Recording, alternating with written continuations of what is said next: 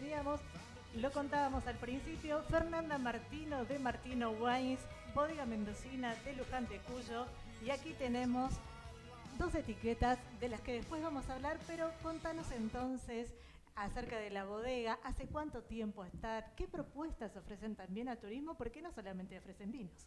Bueno, muy bien. Les contaba un poco que mm, es un proyecto, Martino Wines es un proyecto que inicia mi padre en, el año 2001.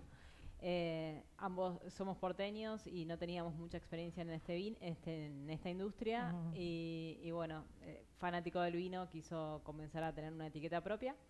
Y bueno, llevamos creciendo en este tiempo bastante, lo que nos hizo tener eh, inaugurar hace dos años un restaurante en Mendoza, del cual estamos muy contentos porque bueno, es un, es un espacio chiquito dentro de la bodega eh, que rápidamente obtuvo uno, los premios de TripAdvisor de, los premios de TripAdvisor son en realidad los premios que, vota la gente, ¿sí? la gente que viaja, que va a degustar, que va a disfrutar de lugares como el que tiene Martino en su bodega. Pero me quiero detener en el restaurante, porque sé que tiene una historia muy particular que me gustaría que la compartas con nosotros.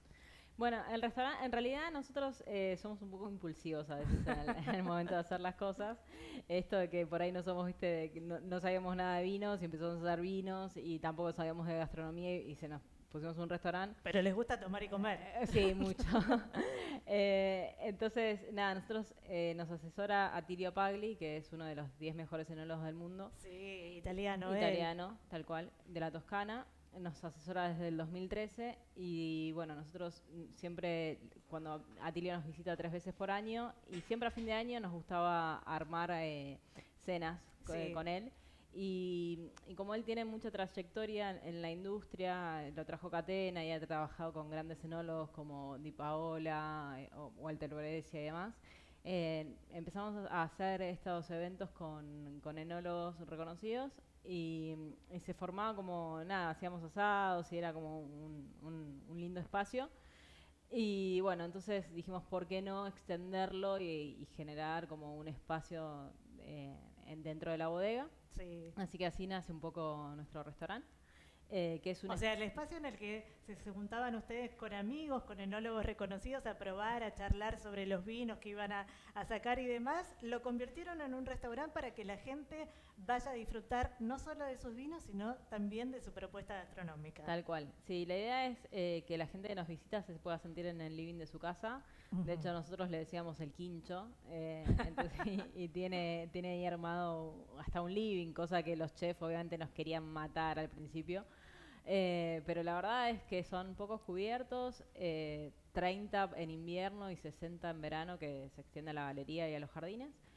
y bueno, nada, la idea es esto, poder disfrutar de, de, los vinos, que nosotros en Martino lo que hacemos es trabajar con varietales inusuales de alta calidad para demostrar que Mendoza... Le vamos a pedir a Gerardo, mientras tanto, que vaya compartiendo un paño que tenemos para que también vayan viendo ustedes cómo es la bodega y esto que está contando Fernanda Martino de Martino Wines, de eh, cómo es realmente el lugar, eh, cómo trabaja la gente en el restaurante, las experiencias que tienen y un espacio realmente que si yo lo veo, que ahora seguro Gerardo lo, va a ponchar allí mientras nosotros también eh, empezamos a degustar el vino, los vamos a tentar, ya es, cortito para este fin de semana largo para que puedan, pero viene otro fin de semana y seguramente van a poder acercarse. Ahí lo, lo estamos compartiendo.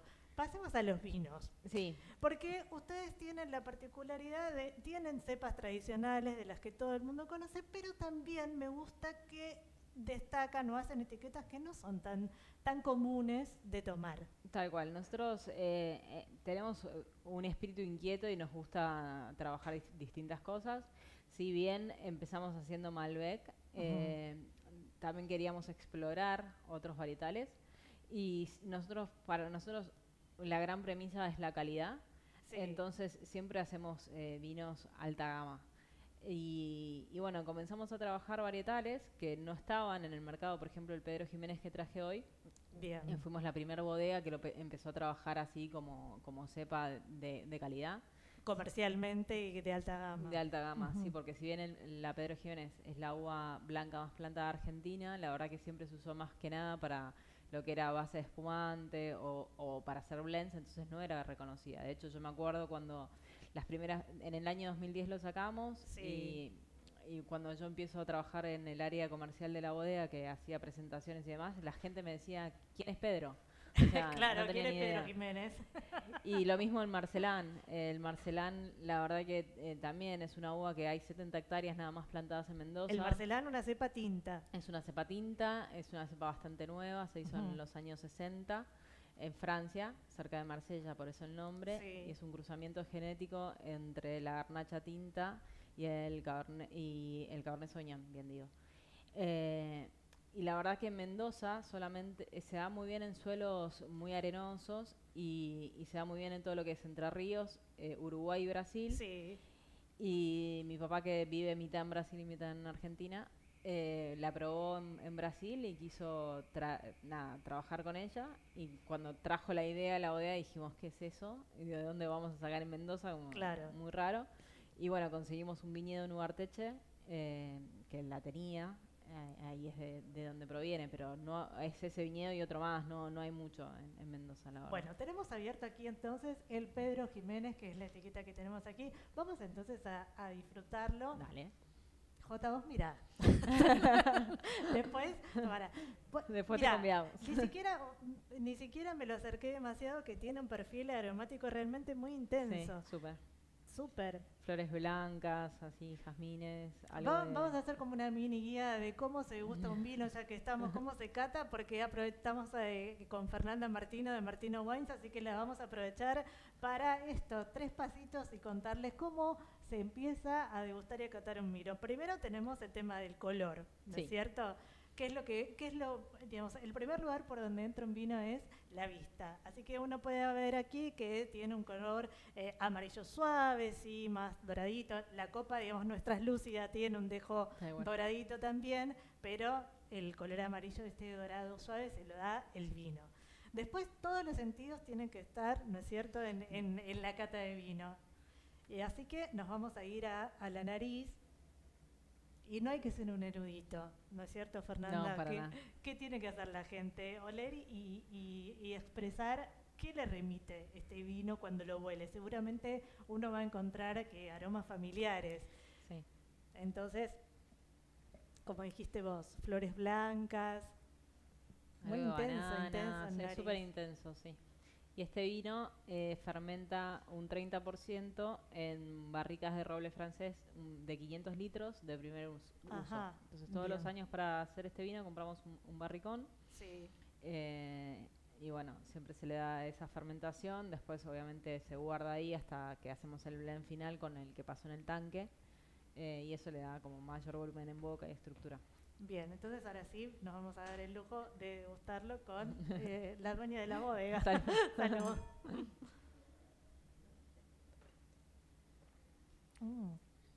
Y tiene una acidez también equilibrada, eh, es persistente en la boca, invita por supuesto a seguir tomando y si yo hubiese traído acá algunos mariscos para degustar, hubiese sido algo sí, bueno, perfecto. Este Pero es muy versátil Es súper versátil, nos sorprendió una vez, hicimos una presentación en, una parrilla y era el primer vino y iba con achuras y la verdad que quedaba súper bien. O sea, ese maridaje contrapuesto va muy bien. Yo creo que también un poco eh, los comunicadores eh, siempre tenemos que tratar de acercar el vino a la gente y no de ponerle más trabas, ¿no es cierto?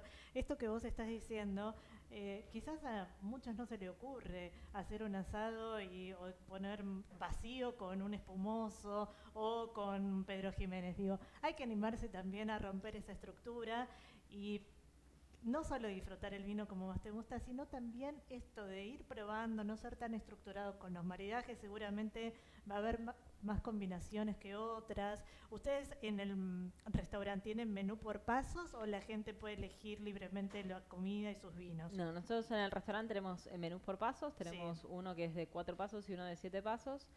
Y ahí hay distintos maridajes porque nosotros tenemos cuatro líneas de vino hoy en la bodega, eh, con lo cual, eh, si bien el, menú es fijo, digamos, eh, hay mucha versatilidad en todo lo que son las opciones de, vino. Hay una opción varietales, una opción superior, una línea que se llama Molteni y una línea que se llama Valdomir.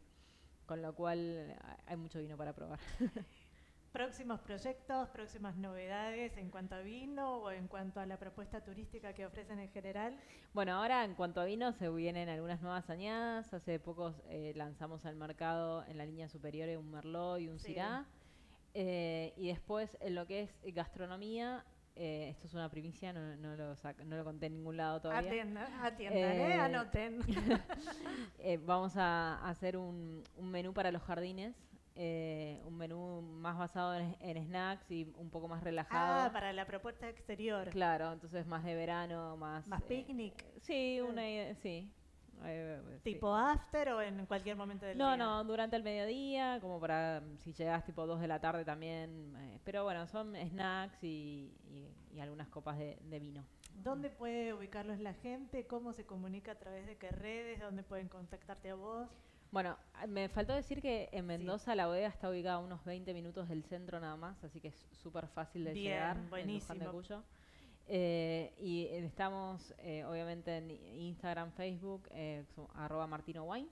Bien, arroba Martino Wines, ya vayan anotando ahí para el próximo viajecito. ¿Tienen Sí. alojamiento allí? Bueno, tenemos unas tres habitaciones que hoy las tenemos en Airbnb, así que es como Bien. está bueno porque te puedes quedar en, en la bodega, porque la bodega es una edificación de 1901 Sí. que es eh, de las típicas estas que tenían como las casa chorizo adelante.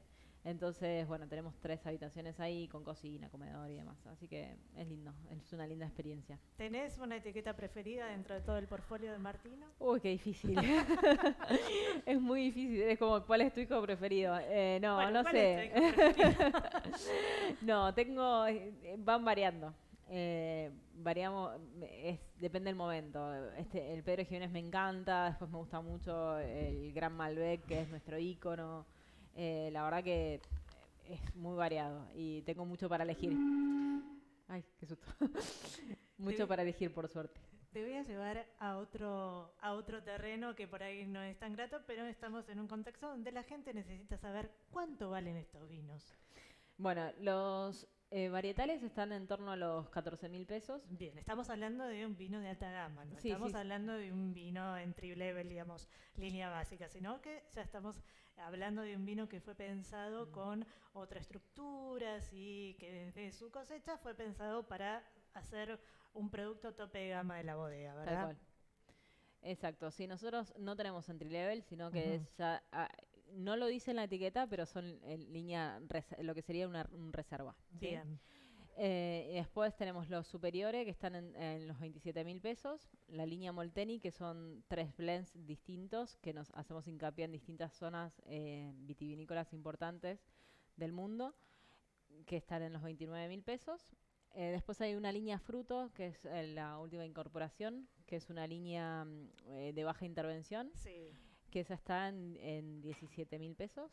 Y después todo lo que es Valdomir, que es nuestra alta gama, que ya estamos hablando de, de vinos de los terroirs de se- 70 mil pesos y el grande 100 mil, 110 mil pesos. Y la última, ¿qué es lo más difícil de hacer un vino en la Argentina? Uf, el contexto. el contexto, que, que cambian todo el tiempo los escenarios, eh, tenemos los insumos muy caros, eh, muchas cosas. Es, eh, es muy desafiante, la verdad, poder emprender. eh, pero bueno, nada, lo, lo hacemos con mucha pasión. Y nosotros lo- nos vamos a despedir, la vamos a despedir a Fernanda tomando este vino con mucha pasión. Fernanda, Gracias. muchísimas gracias por Un haber placer. venido. Vamos a seguramente invitarte en alguna otra oportunidad. Y así que oh, con ustedes nos despedimos con esta copa de Pedro Jiménez y otro Gracias. chin chin. Y nos vemos en un ratito.